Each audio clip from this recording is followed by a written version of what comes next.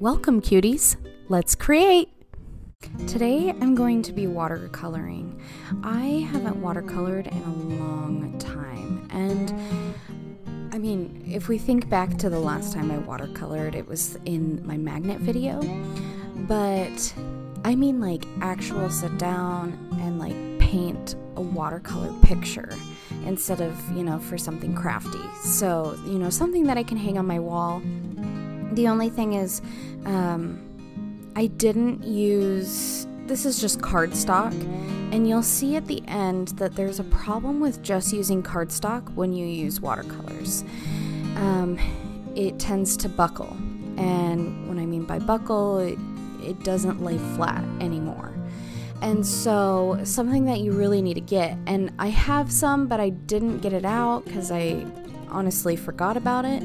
Um, I have mixed media paper, and what that is is it's just a thicker paper, so you can use markers or paints or watercolors, and you can use that, or you can actually purchase actual watercolor paper, which is thicker, and so it doesn't have that buckling effect where it will continue to lay flat.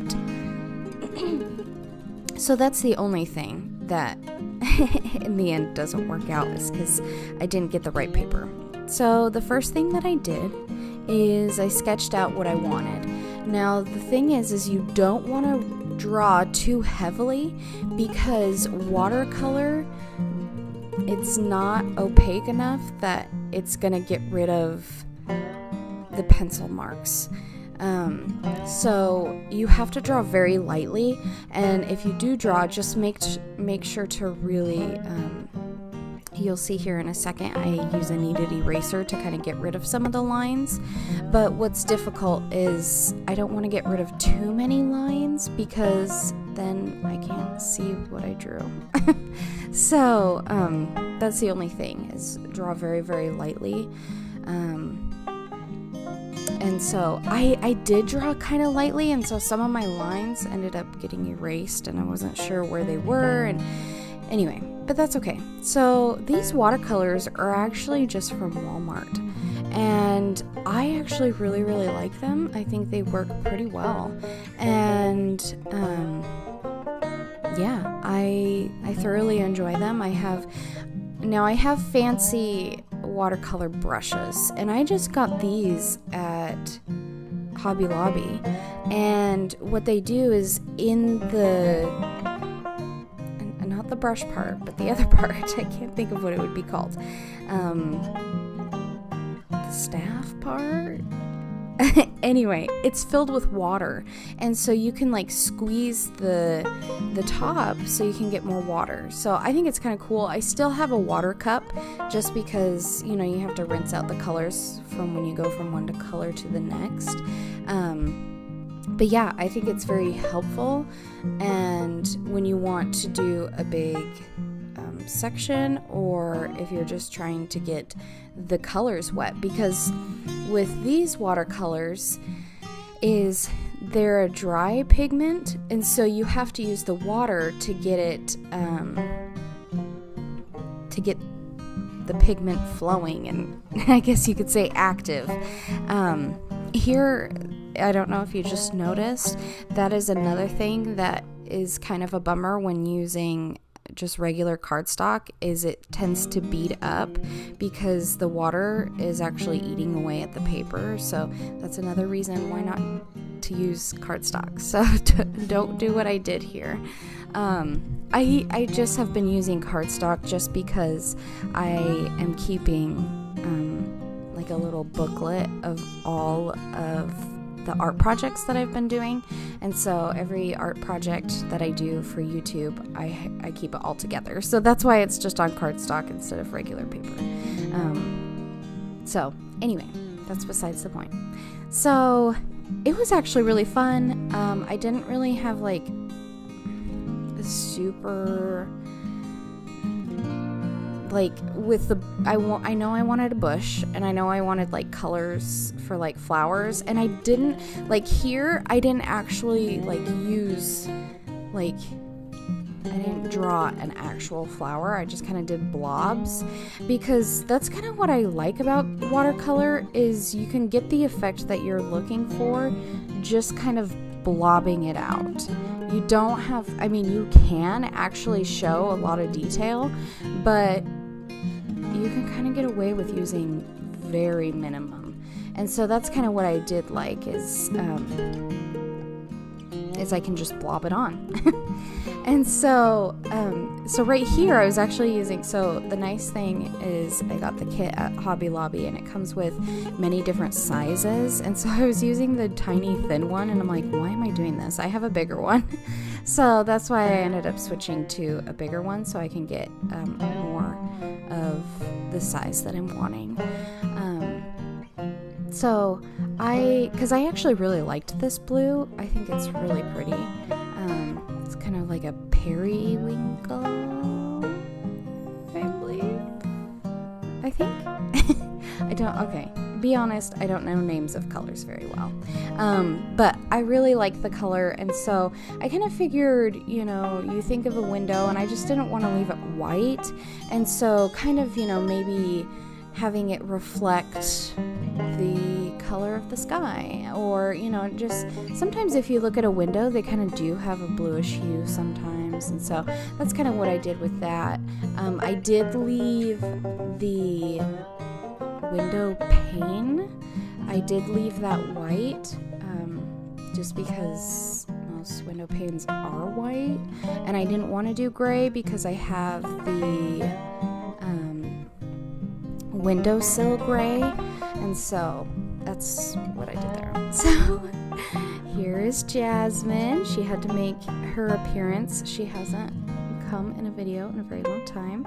I was very nervous of her walking all over my paint, and so I was like, What are you doing? And then I was like, Okay, come here.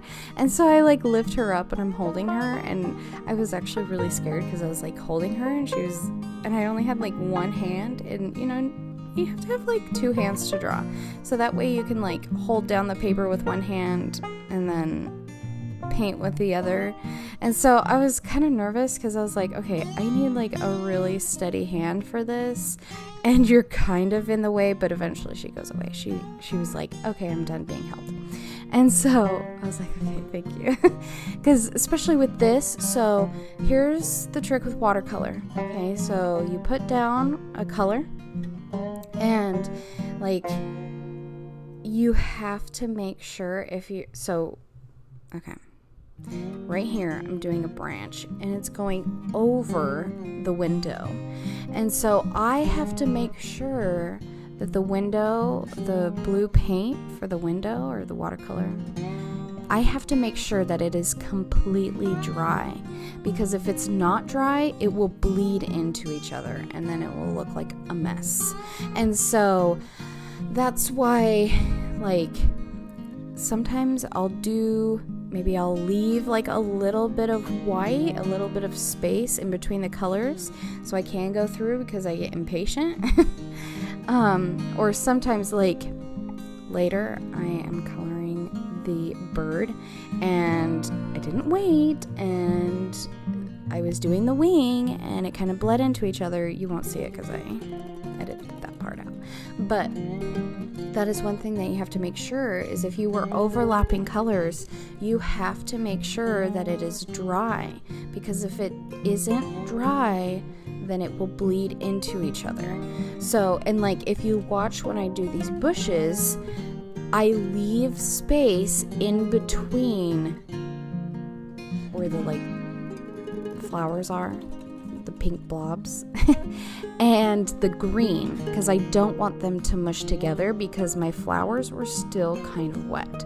And so that's what I did is I kind of left this like white space and I actually kind of liked it. That's the nice thing is I feel like watercolor you can kind of be lazy like i actually kind of really like that you know you you can leave white space and you know it doesn't have to look perfect and you know that you're just kind of watercolors you're just getting like a basic shape there are certain artists out there that can get a very good looking detailed picture but for me, I actually like when watercolor isn't super detailed.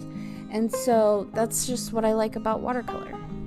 And so I don't know if you just saw, but that's kind of what the idea that I had for my bird is I kind of wanted to do like yellow, orange, and like this corally red. And so um, what I ended up doing is I ended up painting the bird yellow and then I waited until it was dry so then I can go in and then I can use um, the different colors.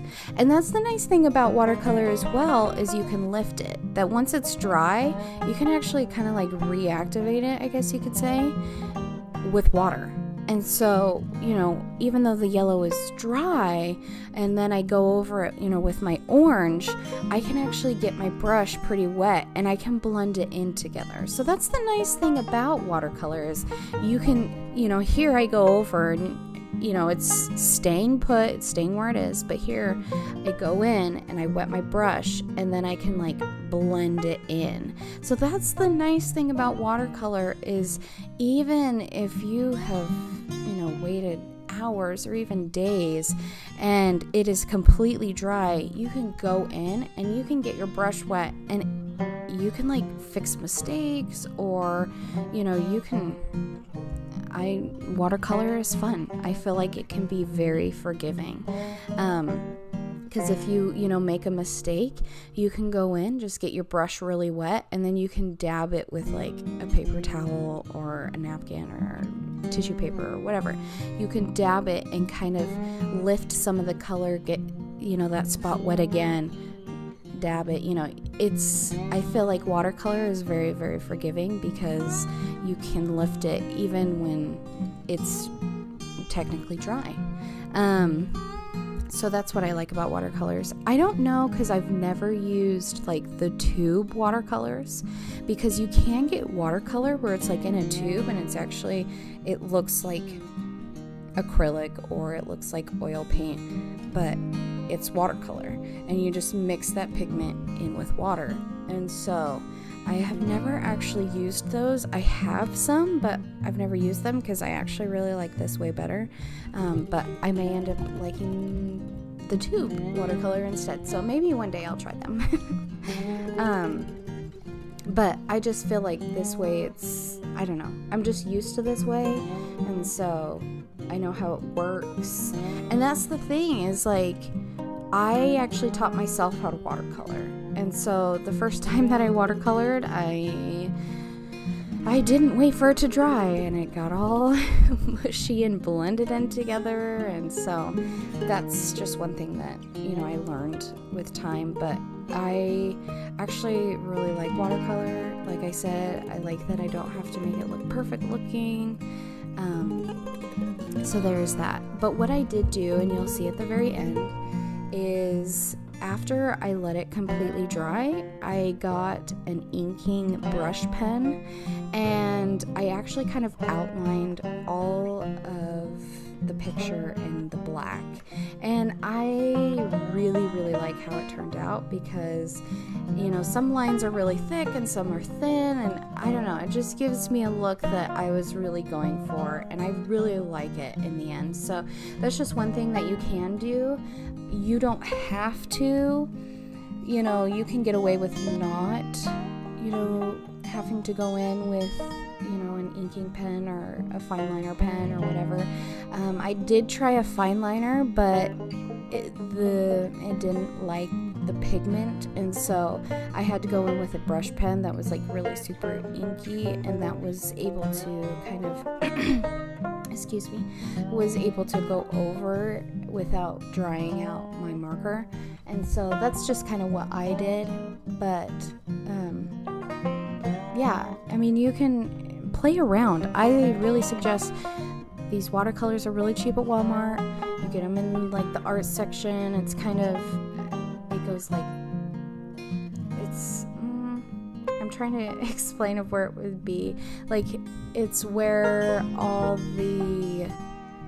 There is paint pens, there's craft paint, and then there's like some art supply and that's that's where I get it. And you also can get canvases and stuff like that. So that's where I normally also get my canvases is I get them at Walmart. Excuse me. And so, anyway, I really like that, and um, I just want to let you know I will leave a link in the description.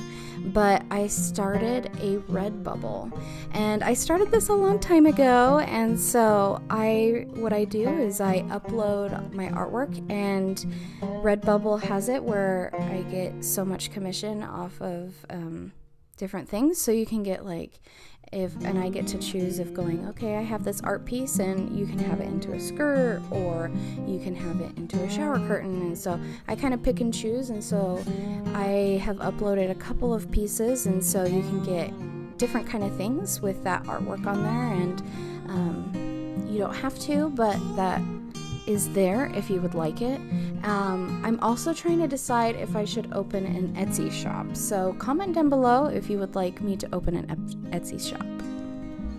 Thanks for watching. Don't forget to subscribe, ring the bell for notifications, leave a like, and a comment. Until next time, keep creating.